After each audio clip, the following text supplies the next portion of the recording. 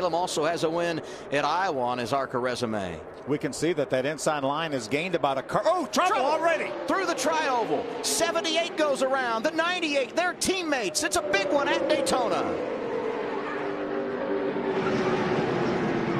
It all started when the 78 of Cole Powell got turned sideways. Gus Dean had nowhere to go and under caution early here at the World Center of Racing. This is exactly what these guys didn't want to do. They wanted to get some laps under their belt, just feel these things out here. A lot of damage to a lot of vehicles. Nah, How about Bobby, Bobby? Gerhart? Eight wins here at Daytona on three on two different occasions. He's won three in a row. See Terry Jones from Canada in the 30. Got a little bit of damage. Ah, Austin, Austin Wayne, Wayne Self in the 33. Watch about three or four lines back. It did. The 78 definitely moved to the inside. Don't know if he had any help. Maybe it turned him sideways right into his teammate, the 98 of Gus Dean, that pushed him back up the racetrack right in front of the pack. Look, look at Kevin Thomas Jr. in that 22. Gets minimal damage, middle of your screen. This is a kid that had never raced on a facility bigger than a half mile prior to today, and that was a pretty nice save by him.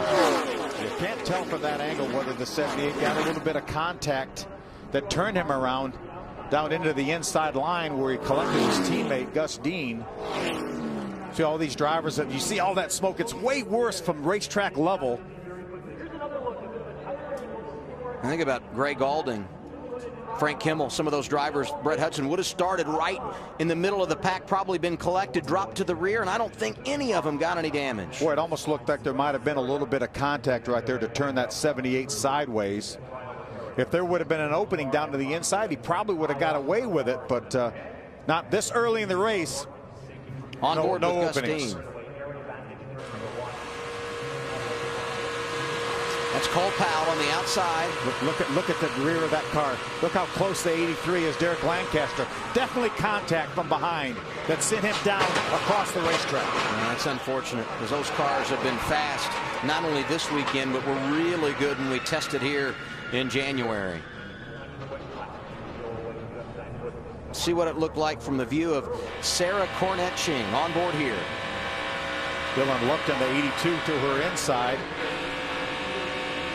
She just blipped the throttle for just a second, and that quickly she was by the incident. See her waiting out the window to the cars behind her. Sean Corr, one of those that just missed getting involved. Dylan Lupton as well in the 82 car. And, and look at look at all the cars way back behind him that were able to avoid the accident.